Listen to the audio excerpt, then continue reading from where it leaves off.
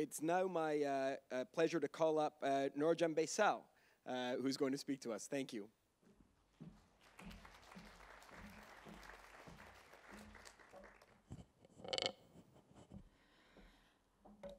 Thank you for having me. It's an honor to be with you today. I'm a Kurdish writer, journalist, and human rights defender.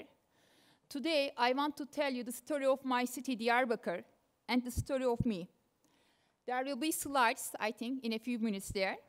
And one is the photos of my city before the military curfews of 2015 and 2016. And the second is photos of my hometown after the military operations ended. My city, my Diyarbakir, is 7,000 years old UNESCO protected city. And it is at the heart of Mesopotamia.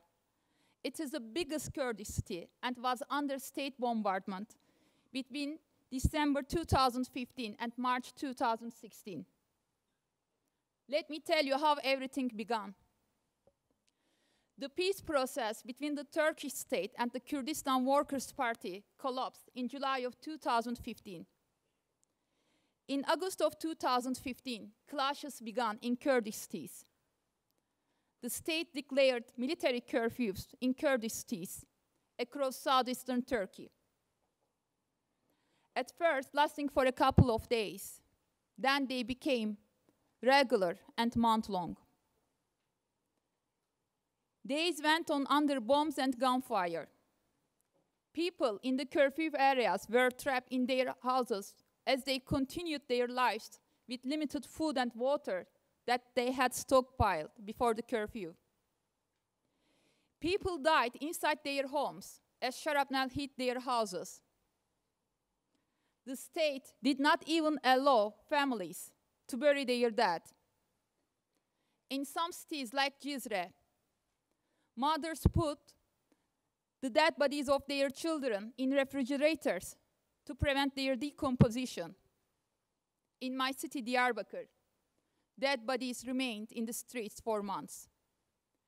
We witnessed terrible human rights violations and war crimes.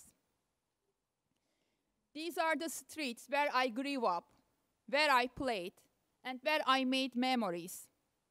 My, my state destroyed that area. My memories have no home. There is no place for ongoing war and for the human rights violations in Turkish media today. Furthermore, there is no political access for Kurdish people. I take an active role in informing the public about what's really happening in my region of Kurdistan. For this, I have been threatened, harassed, and intimidated on social media and some of my articles were unlawfully banned by the security forces. There have been charges against me because of my articles. Last year, days after the Turkish offensive to Afrin began, I was at home. It was just after midnight. I was at home with my children. It was the normal Sunday night. Then I heard a terrible noise. At first, I thought that it was an earthquake. Then I figured out that the, the sounds are coming from my front door. And I thought that perhaps our home was under attack, being bombed or shot at. So I shouted to my children and tried to hide the children. We soon understood that the men on the other side of the door were police and they were trying to break down my door.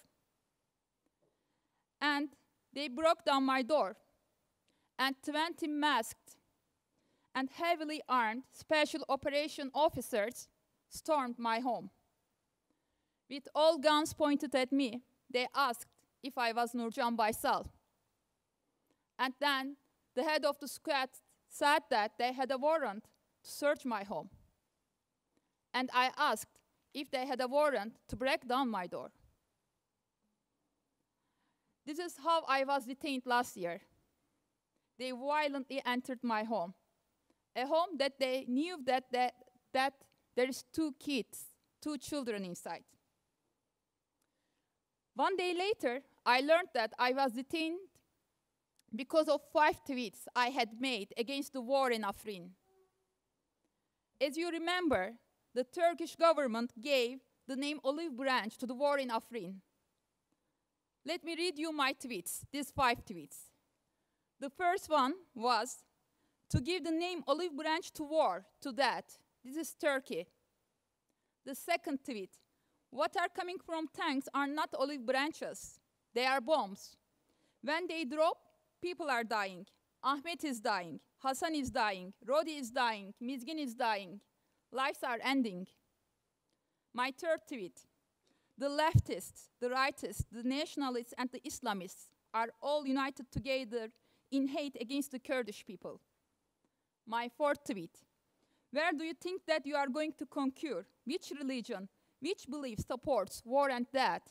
I'm, and my last tweet, I retweeted another journalist's photo of a dead child in Afrin, and I wrote, Those who want war. Look at this picture. A child died today. And because of these five peace tweets, I was accused of terrorist propaganda and calling for provocative action. As you see, these tweets, these tweets do not contain any terrorist propaganda or provocative action. But these tweets demonstrate that I am against war and death. And yes, I criticize the policies of Turkish government. The prosecutor demanded a three-year jail sentence because of these five tweets. Just last month, my case was closed and I was acquitted after a year. I also received a 10-month prison sentence due to an article I wrote recording the war crimes in Kurdish town of Cizre, where nearly 150 people were burnt alive in the basements as they took shelter during the bombardment.